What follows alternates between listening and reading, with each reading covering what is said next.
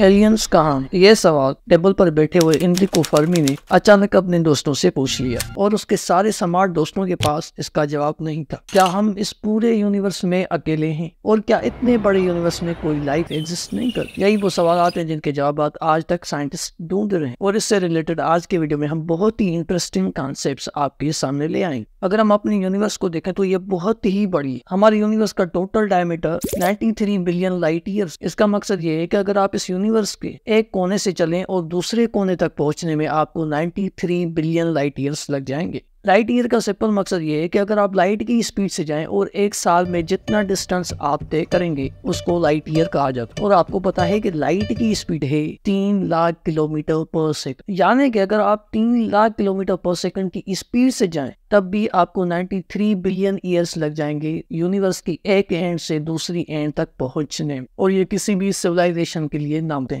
Wikipedia के मुताबिक हमारे ऑब्जर्वेबल यूनिवर्स में तकरीबन टू ट्रिलियन गैलेक्सीज हैं और हर एक गैलेक्सी में एक लाख मिलियन स्टार्स हैं। तो इतने बड़े यूनिवर्स में हम अकेले कैसे? यही सवाल इनरिको फर्मिंग ने भी अपने दोस्तों से पूछा था। और कई साइंटिस्ट इसका जवाब ढूंढ रहे हैं। ड्रैक इक्वेशन के मुताबिक इस यूनिवर्स में दस हज़ार सिविलाइजेशन होनी चाहिए। ये इक्वेशन कैलकुलेशन फ्रेंड ड्रेक ने दी थी। बेसिकली ये एक फार्मूला है, जिसे कैलकुलेशन की जा सकती है कि मिल्की वे गैलेक्सी में कितनी टेक्निकली एडवांस सिविलाइजेशन हो सकती हैं। याद रखें कि मिल्की वे गैलेक्सी हमारी गैलेक्सी है, जिसके अंदर हमारा सोलर सिस्टम एग्जिस्ट करता अब फ्रेंड ड्रेक की कैलकुलेशन के मुताबिक इस यूनिवर्स में दस हज़ार सिविलाइजेशन हो सकती लेकिन वाकई अगर इतनी सिविलाइजेशन मौजूद है तो एलियंस हमको नज़र क्यों नहीं आते? ये दो बड़े सवाल इसका पहला पहलू बहुत ही ऑप्टिमिस्टिक यूनिवर्स बहुत ही बड़ा है और बहुत ही बड़े बड़े चांसेस हैं कि यहाँ पर एलियंस होंगे। लेकिन दूसरा पहलू बिल्कुल ही पेसिमिस्टिक है कि अगर वाकई ऐसा है तो फिर हमको नज़र क्यों नहीं आती? और इसको कहा जाता है फर्मी पैराडॉक्स अब इस सवाल ने बहुत सारे साइंटिस्ट को परेशान करके रखा हुआ है, जिसके नतीजे में कई सारे लोगों ने इसको एक्सप्लेन करने की कोशिश की है और अपनी अपनी थ्योरीज प्रपोज की आइए इनको एक एक करके समझ नंबर पहली थ्योरी है एलियंस हैं, लेकिन बहुत ही एडवांस है। इसका सिंपल मकसद ये है कि वो हम इंसानों से बहुत ही ज़्यादा चालाक हैं और बहुत ही ज़्यादा एडवांस जिसके नतीजे में हम उनको डिटेक्ट ही नहीं कर पाते। इस कॉन्सेप्ट की रूट्स 1964 में जाती है, जब रशिया के अंदर कार्डरशिप स्केल का एक कॉन्सेप्ट सामने आया।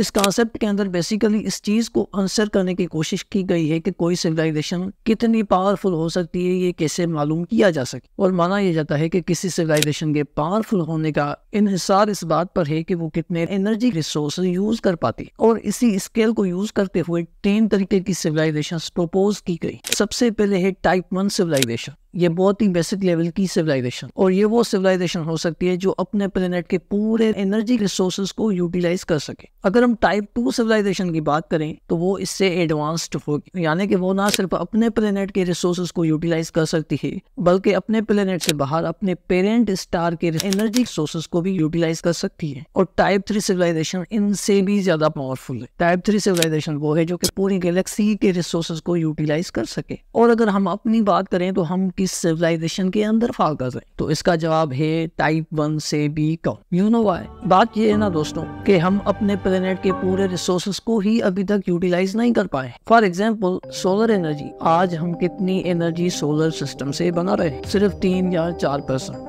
यानी कि अगर हम एनर्जी की बात करें तो उसमें ही हम इस प्लेनेट के रिसोर्सेज को यूटिलाइज नहीं कर पा रहे। तो अभी हमारी सिविलाइजेशन को 0.7 पर रैंक किया जाता है। टाइप वन सिविलाइजेशन बनने में अभी हमको एक से 200 साल लग सकते हैं। अब आप इमेजिन करेंगे अगर कोई टाइप थ्री सिविलाइजेशन एग्जिस्ट कर रही हो तो वो कितनी एडवांस हो सकती है? और वो इतनी एडवांस्ड होगी कि शायद हम उनको डिटेक्ट ही ना कर पाए। इसी कॉन्सेप्ट से कंप्यूटर सिमुलेशन के कॉन्सेप्ट को भी रिलेट किया जा सकता है। कंप्यूटर सिमुलेशन का कॉन्सेप्ट दिया था निक बोस्टन ने। ये एक फिलोसोफर है और उसका मानना ये है कि 20 फ़ीसद इस बात के चांसेस हैं कि हम कंप्यूटर सिमुलेशन के अंदर रह रहे हैं। अब कंप्यूटर सिमुलेशन क्या है? इसके लिए आपको एक चीज़ को हाइपोथेटिकली अज्यूम करके चल रहा हूँ। इमेजिन करेंगे जो पहली गेम बनाई गई थी, वो कितनी एडवांस थी। एब्यूजली वो बहुत ही बेसिक लेवल की गेम थी। लेकिन आज माना यह जाता है कि आज से एक या दो हज़ार साल बाद ऐसी गेम्स बनाई जा सकेंगी, जिसके अंदर रियलिटी को पहचाना बहुत ही मुश्किल हो जाएगा। यानी कि जो उस गेम के अंदर कैरेक्टर्स होंगे, वो इस बात को नहीं पहचान पाएँगे कि वो एक गेम के अंदर है, और उसके अंदर होने वाली सारी हरकत उनको एक रियलिटी लगेगी। लेकिन इस सारी बात में इम्पोर्टेंट बात ये है कि हो सकता है कि हम खुद ही उस गेम का पार्ट हो। यानी कोई सिविलाइजेशन पहले ही इतनी एडवांस हो चुकी है कि उन्होंने ये गेम ऑलरेडी बना दी बात ये है ना कि ह्यूमंस को एग्जिस्टेंस में आए हुए सिर्फ़ तीन लाख साल हुए हैं।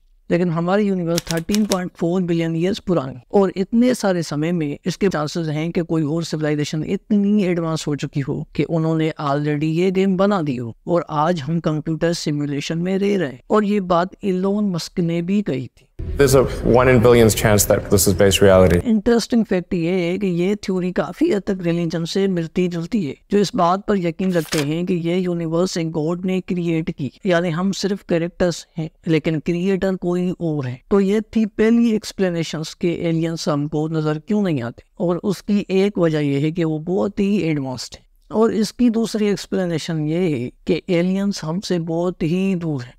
और इसके पीछे आर्ग्यूमेंट ये है कि कोई भी सिविलाइजेशन इतनी डेवलप ही नहीं हो पाई कि वो किसी दूसरी सिविलाइजेशन से कम्युनिकेट कर पाए। और अगर कोई एक सिविलाइजेशन दूसरी से कम्युनिकेट करने की कोशिश करेगी तो इसमें इतना टाइम लगेगा कि एक सिविलाइजेशन तबाह हो जाएगी और ये कम्युनिकेशन कभी स्टेब्लिश ही नहीं हो पाएगी। इट साउंड वेरी कॉम्प्लेक्स लेकिन मैं इसको सिंप्लीफाई करने की कोशिश करता हूँ। जरा इस मैसेज को देखिए। ये वो पहला मैसेज था जब हमने, यानी ह्यूमंस ने एलियंस को भेजा था। ये मैसेज 1974 में उस वक्त का सबसे पावरफुल टेलीस्कोप यूज़ करके भेजा गया था। ये मैसेज हमने एम थर्टीन स्टार सिस्टम की तरफ़ भेजा था और ये स्टार सिस्टम हरक्यूलस कॉन्स्टिलेशन के अंदर मौजूद है। लेकिन पॉइंट की बात यह है कि ये हमसे इक्कीस हज़ार लाइट ईयर्स दूर है अब बात ये ना दोस्तों कि अगर एलियंस को मैसेज मिल भी गया और उन्होंने रिटर्न में मैसेज भेज भी दिया तो इसको totally forty two thousand light years का टाइम लग जाएगा। तो इतने में जिस सिविलाइजेशन ने मैसेज भेजा था, वो ही डिस्ट्रॉय हो जाएगी और ये कम्युनिकेशन कभी स्टेब्लिश ही नहीं हो पाएगी, क्योंकि बयालीस हज़ार साल कोई सिविलाइजेशन जी पाए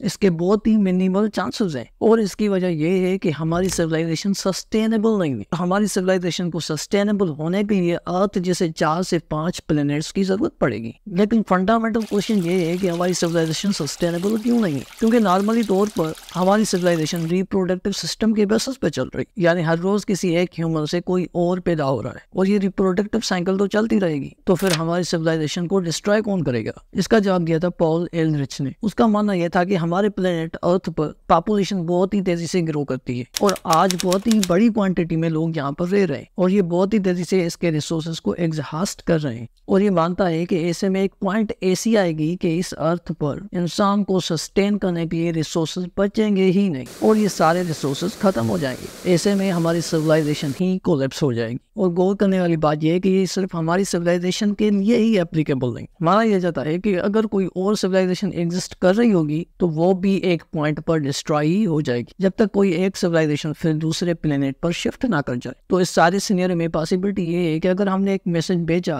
और हमको एक मैसेज भेजा गया तो इतने समय में हमारे पास रिसोर्सेज ही नहीं होंगे और हमारी सिविलाइजेशन ही कलेप्स हो चुकी होगी और कभी ये कम्युनिकेशन स्टेब्लिश ही नहीं हो पाएगी। और ये सारी चीज़ इस ग्राउंड पर बनी हुई है कि वो हमसे बहुत ही दूर है। उसकी तीसरी एक्सप्लेनेशन ये है कि aliens are not intelligent like humans इसको एक्सप्लेन करने के लिए हमको लाइफ को बहुत ही ब्रॉड टर्म में देखना होगा। अगर हम अपने ही प्लेनेट की बात करें तो लाइफ बहुत ही फॉर्म्स में एग्जिस्ट कर रही है और लाइफ के अंदर बहुत ही डाइवर्सिफिकेशन जैसे कि हमारी अर्थ पर बहुत सारे एनिमल्स बर्ड्स इंसेक्ट्स और बहुत ही मुख्तलिफ़ लाइफ के फॉर्म्स मौजूद हैं। लेकिन इनमें से कोई भी हमसे कम्युनिकेट नहीं कर पाता। क्योंकि लाइफ तो बहुत ही है, लेकिन राशनल सिर्फ़ ह्यूमंस के पास है और ह्यूमंस ही सिर्फ़ इंटेलिजेंट है। तो इसके भी बहुत ही बड़े चांसेस हैं कि हो सकता है कि किसी और प्लेनेट पर लाइफ एग्जिस्ट कर रही हो, लेकिन वो इतनी इंटेलिजेंट नहीं कि वो हमसे कम्युनिकेट कर पाए। ये लाइफ माइक्रो ऑर्गेनिजम्स हो सकते हैं multicellular organisms like animals या फिर प्लांट्स भी हो सकते हैं, लेकिन ये एक सिविलाइजेशन नहीं। और यही वजह है कि एलियंस हमको नज़र नहीं आते। इसका एक और बहुत ही इंटरेस्टिंग कॉन्सेप्ट दिया था चाइनीज़ ऑथर ने, जिसका नाम था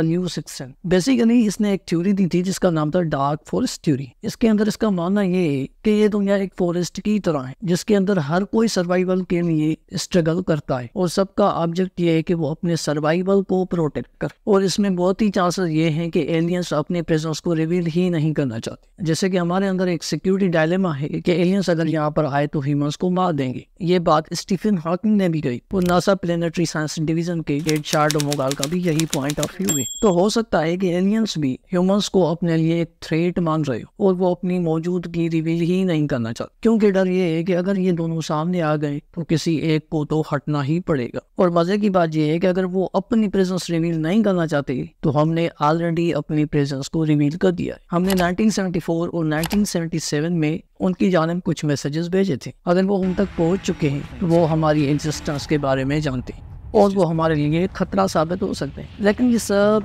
थ्योरीज हैं और इनमें से कोई भी हंड्रेड परसेंट ट्रू नहीं। और आखिरी बात ये है कि हो सकता है कि हम इस पूरे यूनिवर्स में अकेले ही हो सकता है कि कोई एलियंस एग्जिस्ट ही ना करते हो। साइंटिस्ट ने ये बात एक पेपर जिसका नाम था डिजोल्विंग दी फर्मी पैराडॉक्स उसके अंदर मान रखी है। उनका मानना है कि उनकी एस्ट्रोबायोलॉजिकल नॉलेज के मुताबिक 39 टू 85 परसेंट चांसेस हैं कि हम इस यूनिवर्स में अकेले ही हैं। लेकिन इसकी भी कोई गारंटी नहीं यह भी सिर्फ़ अज्यूम ही किया गया है। और फाइनली अगर हम बात करें डायरेक्ट क्वेश्चन की, जिसके अंदर ये माना गया कि इस यूनिवर्स में तीन हज़ार सिविलाइजेशन हैं, उसके अंदर सात वेरिएबल्स हैं। और उसका प्रॉब्लम ये है कि साइंटिस्ट ने उनमें से सिर्फ़ तीन को ही एस्टिमेट कर पाए और बाकी चार को वो आज तक एस्टिमेट नहीं कर पाए। जिसका मकसद ये है कि उनको पता ही नहीं कि हम कभी एलियन से कॉन्टेक्ट कर पाएँगे या फिर नहीं। और इस इक्वेशन में एन जिसका मकसद है the number of civilisation in the universe हो सकता है एक ही हो, और वो एक सिविलाइजेशन हम खुद ही हो सकते हैं। दोस्तों, ये थी सारी कहानी एलियंस के मुताबिक। आपको ये वीडियो कैसा लगा? अगर ये वीडियो आपको इन्फॉर्मेटिव लगा हो hit the subscribe button for more videos और ऐसे ही कुछ वीडियोस आप स्क्रीन को क्लिक करके देख सकते